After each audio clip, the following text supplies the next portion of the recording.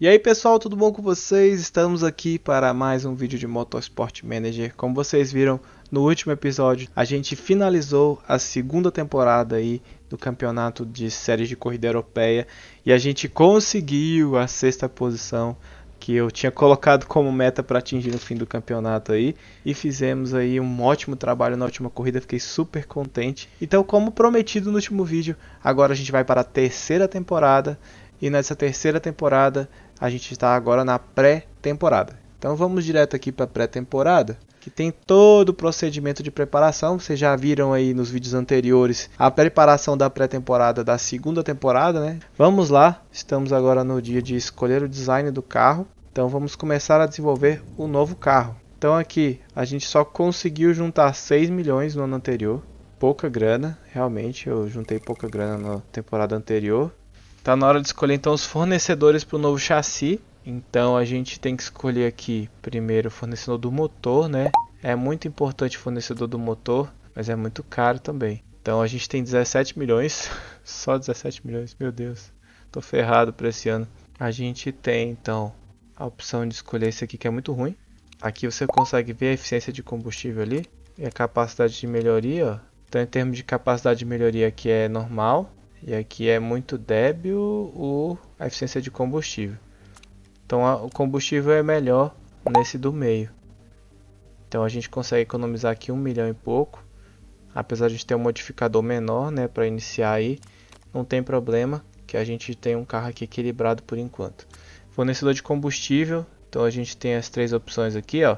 É, lembrando, pessoal, nesse campeonato, por ele ser o campeonato mais inferior, né, o da F3, os fornecedores são ruins mesmo.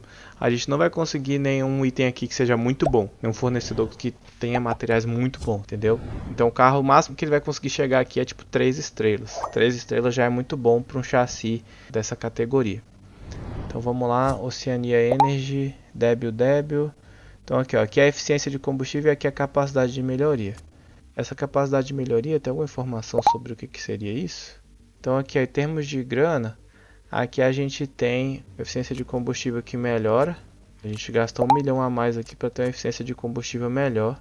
Na minha opinião, isso vale a pena esse gasto. Nossa, vou gastar meu dinheiro todo já. Tô lascado. Como é que eu vou desenvolver as peças durante o ano? Então aqui fornecedor de materiais, desgaste de pneus, aquecimento de pneus. A gente precisa manter isso equilibrado, ó, porque se a gente tiver aqui um desgaste melhor, mas um aquecimento ruim, não vale a pena. É melhor estar tá sempre com as duas coisas juntas. E aqui a diferença de grana é grande, hein? Então a diferença de grana de um pro outro aqui é grande.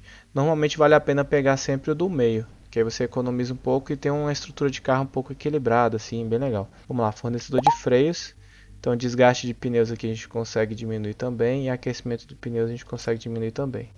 Ó, aqui, se a gente pegar esse último e pegar esse último, a gente já equilibra melhor o desgaste e o aquecimento de pneu. Mas vai gastar toda a grana que a gente tem. E a gente precisa desenvolver sede, precisa desenvolver peças novas ao longo da temporada, precisa pagar as corridas, pagar a equipe. A gente juntou pouco dinheiro esse ano. E isso está pesando agora na hora de fazer o orçamento para esse ano, né? Eita, mas se eu tiver um carro muito ruim aí eu tô ferrado. Não vou gastar toda a minha grana com isso não. A gente consegue economizar mais um milhão aqui se quiser. Mas tudo bem. Vamos lá, a gente vai com esse fornecedor de motor intermediário aqui mesmo. E aqui em termos de material aqui é um milhão e meio que a gente gasta mais se pegar esse aqui. desgaste de pneu diminui. Esse aqui o aquecimento de pneu diminui.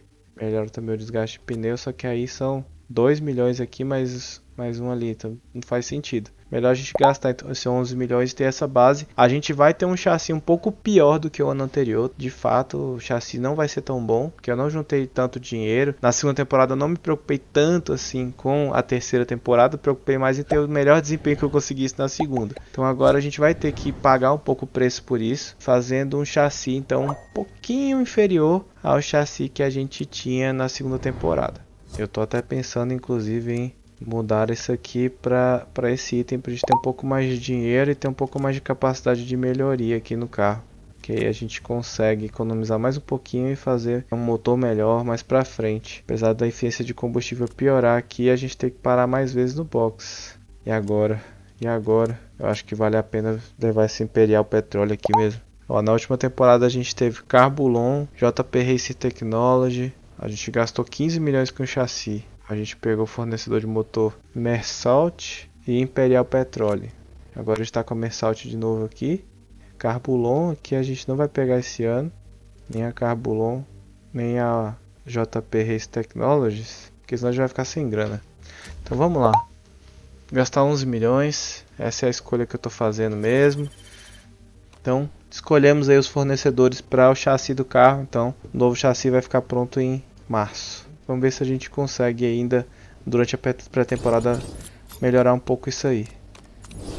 E aí chegamos no primeiro dilema aqui então. Estamos fazendo algumas simulações no nosso carro e achamos que podemos ter ganhos como desgaste de pneus. Um dos nossos fornecedores de chassi ficará feliz em nos ajudar, mas tem um preço. Então a gente consegue melhorar aqui o desgaste de pneu em mais um, que está bem ruim, né? Por 2 milhões e meio. É muita grana, mas vai valer a pena pra gente melhorar o desgaste de pneu aí. Muita grana mesmo. Mas é o mais um, uma estrela no desgaste de pneu aqui, pessoal. Então, olha lá. Nosso desgaste de pneu melhorou bastante agora. Agora nossa grana está acabando. Mas a gente já recebeu a oferta de patrocinadores. Então, vamos ver aqui o que, que a gente tem para aceitar. Então aqui lembrando que esse aqui é patrocinador que faz pagamento fixo por corrida. Então a gente tem que analisar o quanto ele vai pagar no todo, né? E eu costumo analisar por corrida, porque olha aqui, são 11 corridas esse aqui, são 13 corridas esse aqui, então é bastante tempo. Então vamos pegar aqui o Kashima, então são 13 corridas que ele paga 300 mil por corrida.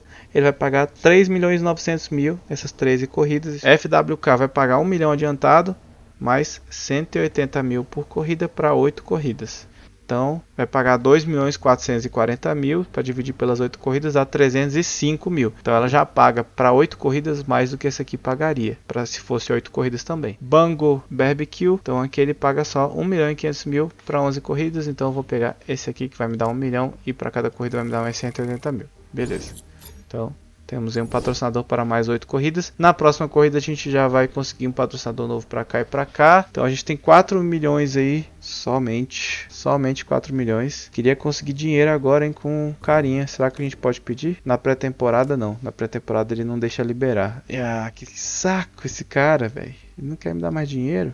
Vamos ver aqui nossa questão de equipe de pit stop. É bom também toda época de renovação de ano fazer renovação de contrato renovar o contrato de todo mundo, que a gente não paga nada para renovar o contrato com eles por mais tempo, só o custo que eles têm mesmo por corrida. O contrato deles é sempre de um ano e a gente pode renovar a qualquer momento para durar aí até mais um ano. Todo mundo descansadinho, 0% de chance de erro, ótimo. Vamos ver aqui na nossa sede. Só tem 4 milhões, não faz sentido gastar agora. A gente está com a quarta melhor sede do grid, quarta melhor fábrica. Não a sede, né? Quarta melhor fábrica do grid. Vamos pular mais uns dias aí na pré-temporada. Opa, temos outro dilema aqui. Esses dilemas são importantes, hein? Então, eu e alguns engenheiros estamos preocupados com a capacidade de melhoria do carro ao longo da temporada. Tivemos algumas conversas preliminares com o fornecedor de motor, eles acham que podem nos ajudar por um preço, é claro. Aumentar mais um na capacidade de melhoria por 1 milhão e 500 mil. Rapaz, é complicado, porque se aumentar mais um aqui, eu não sei exatamente que capacidade de melhoria vai, vai dar, mas eu acho que ele vai permitir que cada peça que eu desenvolva seja melhor do que a outra. O problema é que eu tô com pouco dinheiro para desenvolver as peças já. Então isso é que me preocupa mais. Como é que eu vou conseguir fazer peças melhores se eu não vou ter dinheiro para fazer essas peças? Tá. Eu vou aceitar. Vamos fazer um chassi show, hein? Ó, 3 de capacidade de melhoria. Aquecimento de pneu que tá sendo, vai ser um problema pra gente nessa temporada, hein? O pneu vai esquentar muito rápido, mas a gente lida com isso aí, não tem problema não. Shenki tá filmando documentário. Ela aumentou a negociabilidade. A negociabilidade da nossa equipe então tá na lua. Quatro estrelas já. Que isso. Nossa negociabilidade tá altíssima para patrocinadores agora. Estamos chegando agora quase aí, acho que no final da pré-temporada. Definir a pintura do carro agora. Então vamos para a pintura do carro, pessoal. Essa aqui era a pintura do carro anterior. Sinceramente eu gostei da pintura do carro, nossa. Talvez a gente pudesse trocar um pouquinho, né? Variar um pouquinho cada ano aí, talvez. Essa pintura 10 aqui é bonitinha, hein? É bem parecida com a do anterior também. Ver se a gente consegue botar uma cor secundária aqui escura. Vamos ver aqui. Olha. Olha, ficou bonito isso aqui assim. Acho que a gente pode ir com o carro assim, hein? Com um bico amarelo e a parte de trás roxo. Acho que esse ano então vamos com esse carro aqui. FF26 Racing! Espero que vocês tenham gostado da pintura. Quem tá vendo aí, já comenta aí embaixo. Olha, número 16, Charles Leclerc. Foi eu que escolhi esse número não. Enfim, essa pintura nova aí. do ano passado era mais amarela, do primeiro ano da temporada, primeira temporada aí foi bem azul em cima, bem roxo, tinha poucos detalhes amarelos, então agora estamos mais intermediária aí com uns detalhes mais misturados aí. Teste de pré-temporada nesse fim de semana. Beleza, então vamos para o teste de pré-temporada. Todos ansiosos para começar os testes de pré-temporada. Então vamos lá começar os testes. Vamos ver Shen Shenki e Falcon Gellhardt. Por enquanto nossos carros sem nenhum problema. Tem um problema no carro do Falcon, não deu potência total no motor. Beleza, Shenki tá com um carro melhor do que o do Falcon. Que estranho, hein? Deu tudo certo a princípio, né? Os testes foram ótimos nesse fim de semana, fico feliz em relatar que estamos numa posição forte para o restante da temporada. Shenki ficou em 11 enquanto Falco ficou em 17 Nossos engenheiros mecânicos já estão prontos para trabalhar, melhorar a confiabilidade e construir algumas novas peças. Deve ser o tema do dia. Fernando, chegou o momento outra vez. Precisamos definir onde você espera que a equipe termine essa temporada. Devo dizer que qualquer coisa acima de sexto será visto como sucesso pelos investidores. As expectativas deles são irreais ou podemos tentar uma colocação um pouco mais alta. Rapaz. Rapaz, agora me complicou, bicho. Na temporada anterior, eu fiquei em sexto, né? Sofri um pouco para ficar em sexto, mas deu. Esse carro agora não tá tão bom quanto da temporada anterior o chassi, mas as nossas peças em termos de desempenho aqui. Então vamos ver aqui, ó, o carro desse ano veio com suspensão especificada, então ó, as duas suspensões 150, asa traseira especificada, asa dianteira especificada, então são três peças que a gente não tem que desenvolver. Desenvolver só a caixa de câmbio e a caixa de câmbio é o nosso ponto forte porque a gente já tem um centro de telemetria na nossa sede, então a gente consegue desenvolver ela mais do que as outras peças. A gente tem motor 175, 150, vem com um motor um pouquinho melhor, mas a confiabilidade realmente cai. Então agora vamos, antes de começar qualquer coisa, já vamos colocar as nossas melhores peças aqui para melhorar o desempenho. E vamos colocar todo mundo para confiabilidade e vamos aprimorar aqui. Motor é importantíssimo nos dois carros e o câmbio é importantíssimo nos dois carros. Vamos focar aqui em melhorar essas peças. Precisa estar pelo menos com 70% aí, 65, 70% aí nessas peças na primeira corrida para não quebrar o carro. Então, vamos voltar aqui. Então, o nosso carro ele está com uma base melhor do que no anterior em termos de desempenho, mas as outras equipes também têm essas melhorias ao longo dos anos. Só que é, agora a gente tem uma peça especificada a menos. Gente, eu tô na dúvida, hein? Porque olha só, se eu botar como meta chegar em quarto no campeonato, ele vai me dar 19 milhões. São 4 milhões a mais do que a meta de chegar em sexto. E como eu cheguei em sexto na temporada anterior, é uma meta atingível, porque apesar do chassi estar tá um pouquinho pior, ele não está muito pior e a nossa capacidade de melhoria é maior. Nossas peças são melhores já do começo da temporada e a suspensão é igual para todos os carros da temporada. Então, sexto seria uma meta razoável, na minha opinião. Oitavo é fora de cogitação porque a gente consegue chegar em sexto sim e a gente ganharia 3 milhões a menos se colocar oitavo. Vai receber 12 milhões para receber 15. A diferença é muito grande. Mas aqui, para chegar em quarto, são 4 milhões a mais, gente. 4 milhões dá para desenvolver três motores. Então vale, vale a pena pegar essa quarta posição aqui como meta. Mas é isso, a gente tem que sempre lembrar, se a gente não conseguir atingir consistentemente essa quarta posição no campeonato, a gente vai decepcionar todo mundo. É, ele tá com 100% de felicidade em cima de mim, né? Então a princípio ele não vai me demitir no começo da temporada se eu não for bem. É... Gente, eu vou ser ousado, hein? Eu vou pegar essa meta. Vamos. Vamos pegar essa meta. Vamos pegar esses 19 milhões e botar no bolso. E a gente vai fazer isso dar certo. Então já vamos começar aqui tudo certinho, botando todo mundo para treinar a confiabilidade das peças e já vou mandar desenvolver peças novas. Vamos começar pelo que a gente tem para melhorar mais, que é o câmbio. Então a gente começa melhorando aqui então um câmbio com aceleração maior, vai até 244, beleza. Então a gente precisa desenvolver esse câmbio aqui. Então vamos desenvolver bastante peça. Seria muito bom se a gente pudesse desenvolver mais uma, mais uma área da nossa sede, nosso centro de design, se a gente desenvolver, se a gente melhorar esse centro de design, a gente diminui um pouquinho a quantidade de tempo de design de peças e libera túnel de vento, simulador e outros espaços. Mas para fazer essa melhoria são 8 milhões, é muito caro. Eu prometi né, para o piloto que eu ia fazer então uma nova construção que é o centro de previsão do tempo, que custa 6 milhões. Eu vou construir o centro de previsão do tempo. Às vezes foi uma burrice ter feito isso. Mas eu prometi e eu vou construir porque eu quero ver como é que é isso. É bem importante para as corridas a gente ter a previsão do tempo aí melhorada. Quanto tempo leva para construir esse centro de previsão do tempo? 16 semanas, tá aqui, ó, 16 semanas para construir. Então vai levar um tempinho para construir esse centro de previsão do tempo. A gente tem 15 milhões agora então. Então já está desenvolvendo um câmbio novo. A gente pode até deixar de aprimorar um dos câmbios, né? O, o pior, o pior câmbio aqui, a gente não precisa aprimorar ele em termos de de desempenho, porque ele vai ficar pronto antes da próxima corrida. Deixa eu ver. Em 11 dias e 22 horas. A próxima corrida é em 11 dias. Eu não sei se vai dar tempo. Agora me pegou. O que, que fica pronto primeiro? Vamos ver aqui, ó. Vamos ver o que, que fica pronto primeiro aqui. A gente vai viajar. Ah, fica pronto depois o câmbio. Nessa corrida a gente vai ter que usar esse câmbio aqui.